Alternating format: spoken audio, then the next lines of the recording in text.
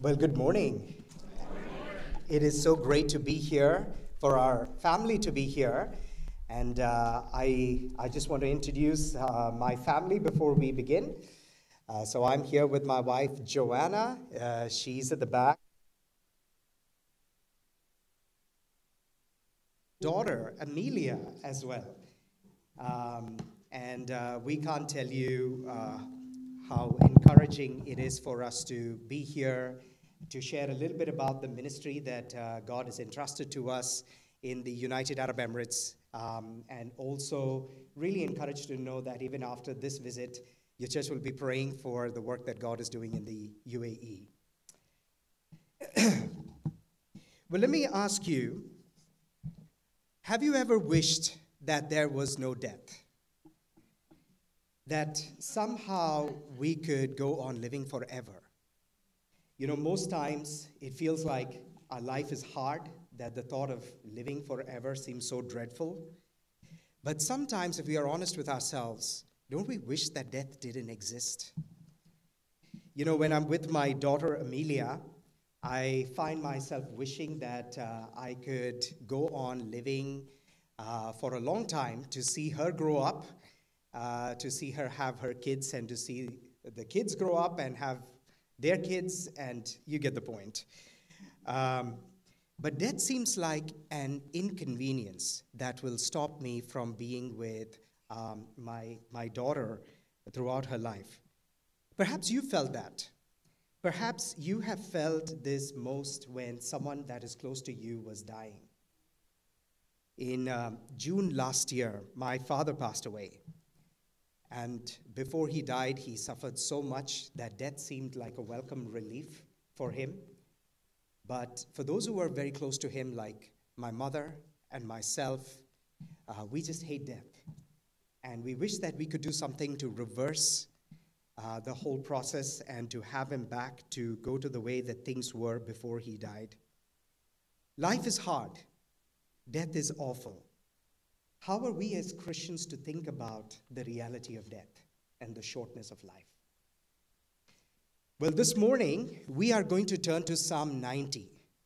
Psalm 90, 90 is a meditation on this very idea the idea of death, the finiteness of man. So please turn in your Bibles to Psalm chapter 90, and I will read the whole chapter for us. A prayer of Moses, the man of God. Lord, you have been our dwelling place in all generations. Before the mountains were brought forth, or ever you had formed the earth and the world. From everlasting to everlasting, you are God. You return man to dust and say, Return, O children of man. For a thousand years in your sight are but as yesterday when it is past, or as a watch in the night. You sweep them away as with a flood. They are like a dream, like grass that is renewed in the morning. In the morning it flourishes and is renewed. In the evening it fades and withers. For we are brought to an end by your anger. By your wrath we are dismayed. You have set our iniquities before you, our secret sins in the light of your presence. For all our days pass away under your wrath. We bring our years to an end like a sigh. The years of our life are 70, or even by reason of strength, 80, yet their span is but toil and trouble. They are soon gone, and we fly away. Who considers the power of your anger and your wrath according to the fear of you?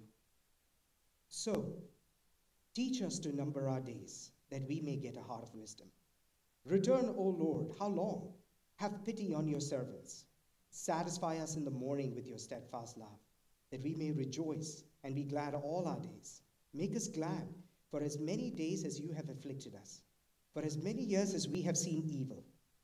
Let your work be shown to your servants, and your glorious power to their children. Let the favor of the Lord our God be upon us, and establish the work of our hands upon us. Yes, establish the work of our hands.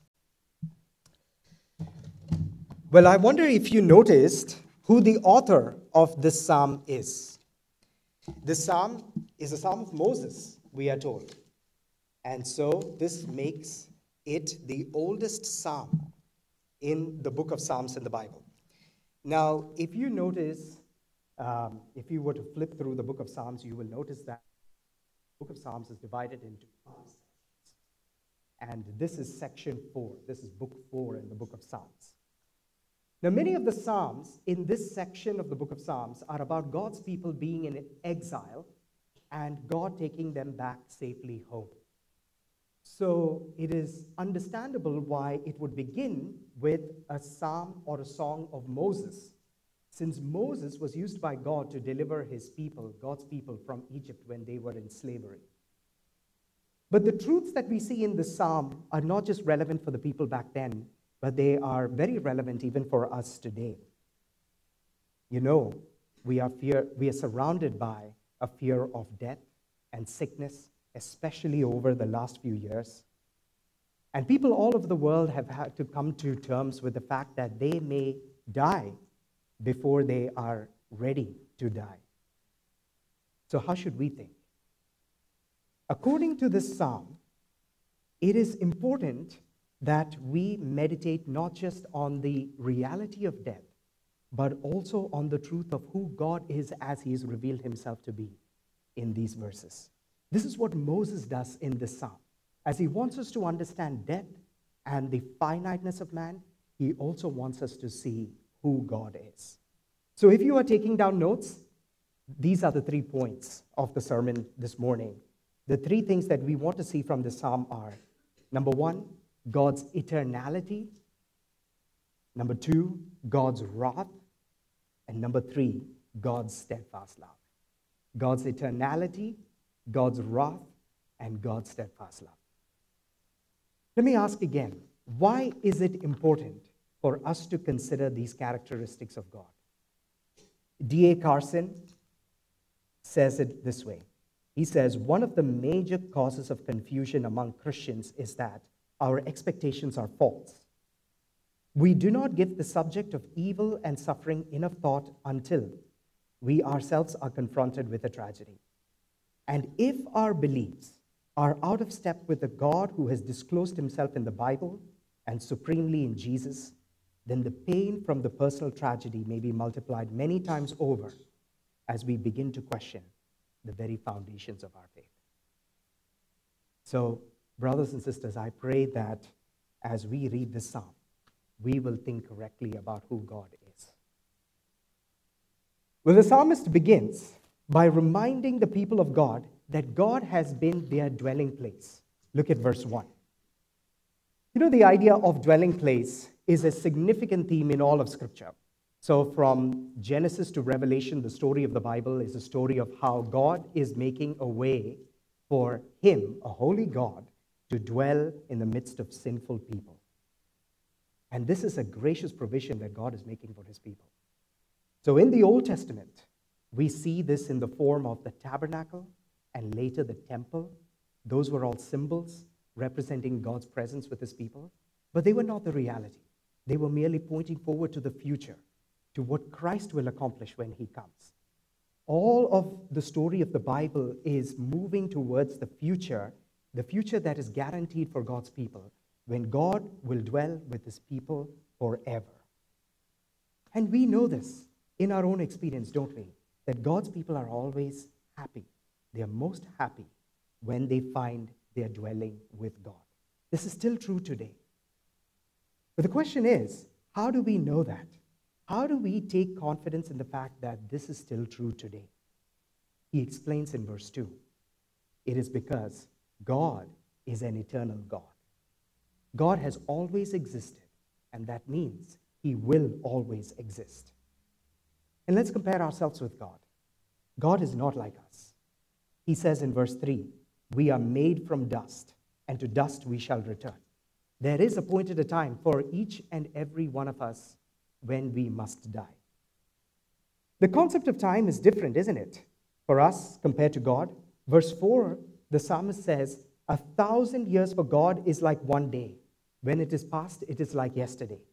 Or as he says, it is like a watch in the night a short four hour period in the middle of the night. Now, we think that we live a long time in this world. We sometimes complain about how long our life is in this world. And that is because our life is the longest experience that we have or we will ever have. Yet, in God's eyes, our entire life is like but a few moments for Him.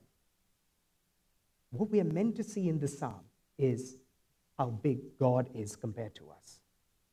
Wayne Grudem writes that the difference between God's being and ours is more than the difference between the sun and the candle, more than the difference between the ocean and the raindrop, more than the difference between the Arctic ice and a snowflake, more than the difference between the universe and the room we are sitting in. God's being is qualitatively different.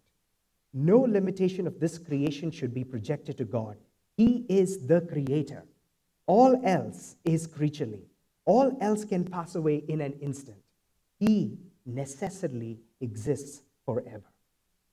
That is who God is. So, friends, how should we respond as we think about God's eternality? How big our God is?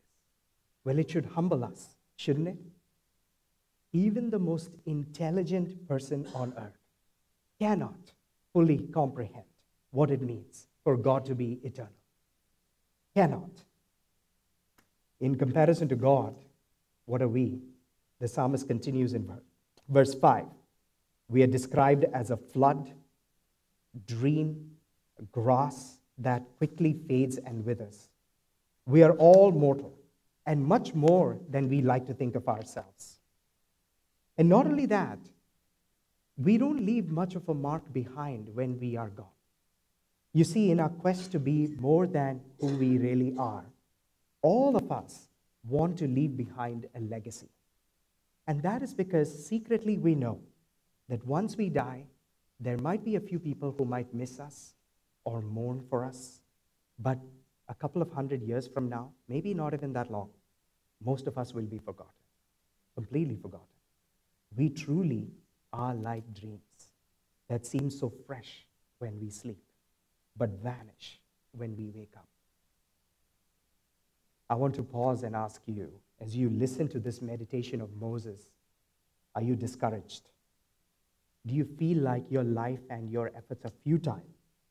You see, God wants us to meditate on this not to make us feel miserable about ourselves, but so that we may run to Him who is bigger and greater than we all are.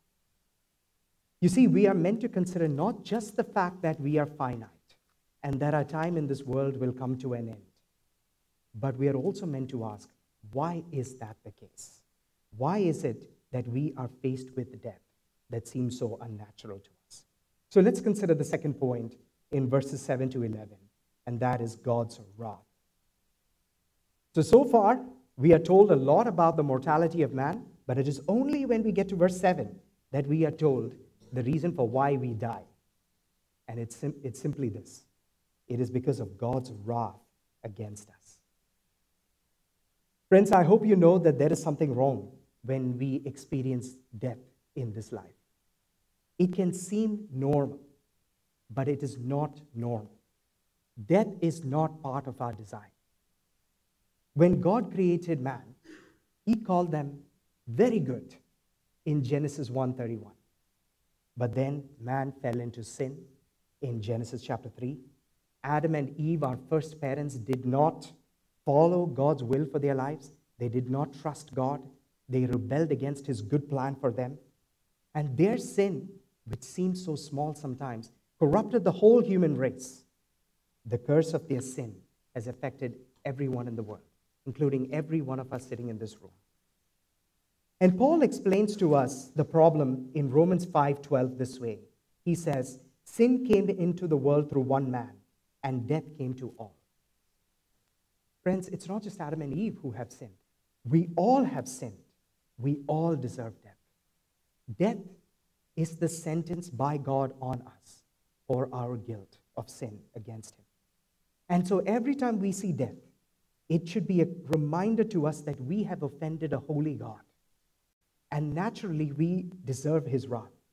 Every time we see a friend or a family die, every time we see death in the news, we are meant to see how serious our sin is, that it is deserving of death, not just bodily death, but spiritual death. You see, the problem with the way the world thinks about sin is not that they deny the existence of sin. Many people in the world will say that they believe that we are rebelling against God. But the problem with the way the world thinks about sin is that they deny the seriousness of sin. Sin is often talked about or seen as just a slip up, a mistake, and many will laugh at the idea that it is deserving of death. But we have to view our sin in light of who it is against, that it is against a holy God. God is holy, and all of our sin are ultimately against him. It offends him. And in verse 8, Moses points out that God sees all of our sins, even our secret sins. There's no such thing as secret sins to God. God looks at our heart, He sees every thought, every evil desire that we, that we have there, every word that we meant to say that did not come out of our mouth. God sees all of it. Nothing escapes His gaze. So, you know what that means? It means that the thoughts we think or the things that we think we are doing in the privacy of our homes or the privacy of our phones, the things that we think nobody sees, God sees all of it. Imagine if somebody could broadcast even just the thoughts that we had this week onto the screens here in this room. How mortified we would feel, or how ashamed that would make us, right? How much more seriously should we take our sin knowing that God sees all of it, even our secret sins. And so in verse 9 and 10, the psalmist says that God's wrath is against us.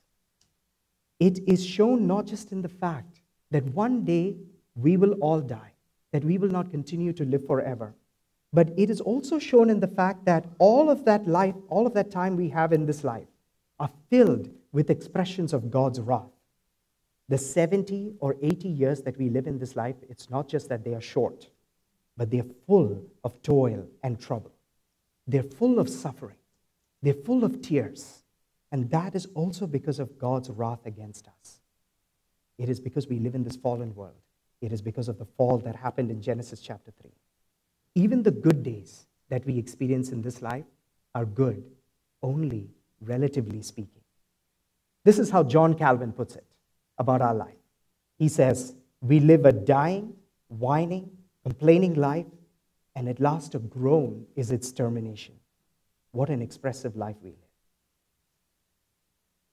Yet, who among us can accuse God? Who among us can say that God is too harsh? Don't we all deserve the suffering that comes to us in this life? Friends, we deserve worse than the suffering that we experience in this world. Yet, despite all of the inflictions of God's wrath, how many of us can say that we have actually, seriously, properly taken God's wrath into consideration? Or, like the psalmist asks in verse 11, who considers the power of your anger, your wrath according to the fear of you? Many people in this world, and to be honest with you, many who also call themselves Christians are rejecting and resisting the inflictions of God's life, God's wrath in their life, and it is because of this that they do not fear God rightly.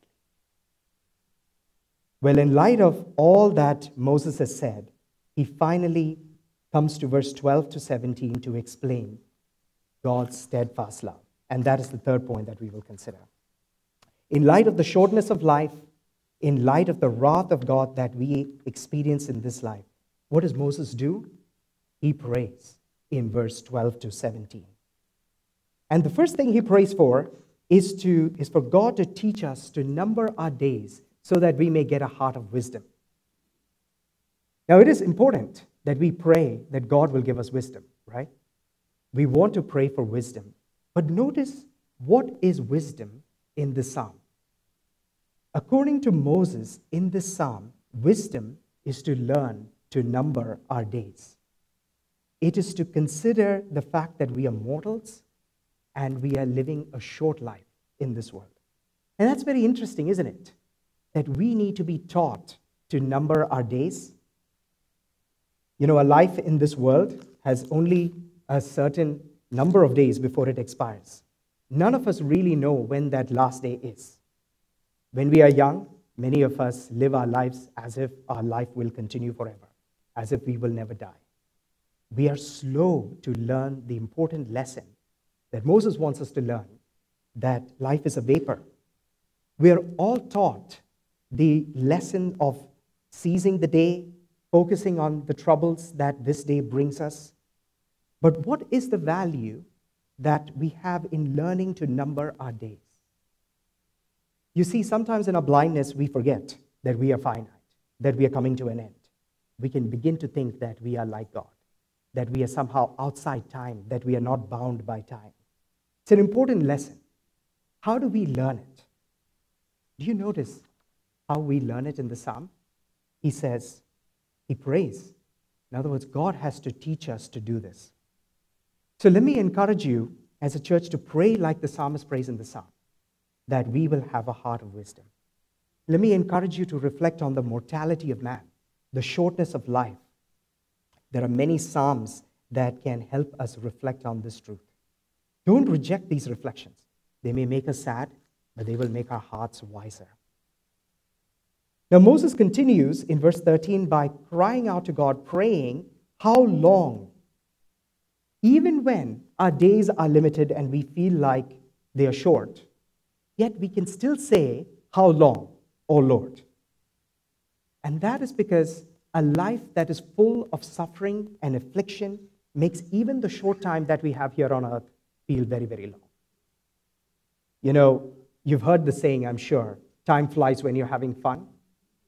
But consider that the opposite is true too, right? One of the things I started doing during the COVID 19 lockdown several years ago was um, I started doing a 30 minute long workout in our house. And uh, if you knew me, you would know that I'm not in the best shape of my life. And usually 30 minutes seem like they fly by very fast. But those 30 minutes, when I was working out, seemed like they were never ending. And for some reason, the last 10 minutes seemed to go on even longer. Have you had this experience of feeling like time seems to slow down when something's going wrong in your life? You may be there right now. You may be going through something especially hard right now, and you are crying out like Moses is in this psalm How long, O Lord? I just want to say, it's not unspiritual to pray this prayer. How long, O Lord? Because it's not unspiritual to feel the pain and afflictions of living in this world. And it is not unspiritual to cry out for deliverance when we are walking in, in pain and suffering. This is a hopeful prayer. It's filled with hope. This prayer, How long, O Lord? Do you notice that this prayer is a recognition of the fact that God is sovereign and that he has compassion on his people. And so, what that means is that if you are in Christ, whatever you're going through right now is not going to go on forever. It is full, this life is full of pain, it's full of tears. The tears that we shed cannot be measured, but there is an expiry date to all the troubles that we face in this, in this life. And, friends, I just want to say this is true only for those who have repented of their sin and put their faith and trust in Jesus. For those who are not in Christ, do you realize that if they don't turn to Him while they have time, they cannot pray this prayer? How long, O Lord? Because as long as this life seems full of affliction and misery and suffering, it's only a preview of what's to come. For those who are not trusting in Christ, this life only leads into unending suffering under the just wrath of God. And in eternity, those who haven't trusted in Christ cannot pray, How long, O Lord? Because there will be no end to the suffering they face under the judgment of God.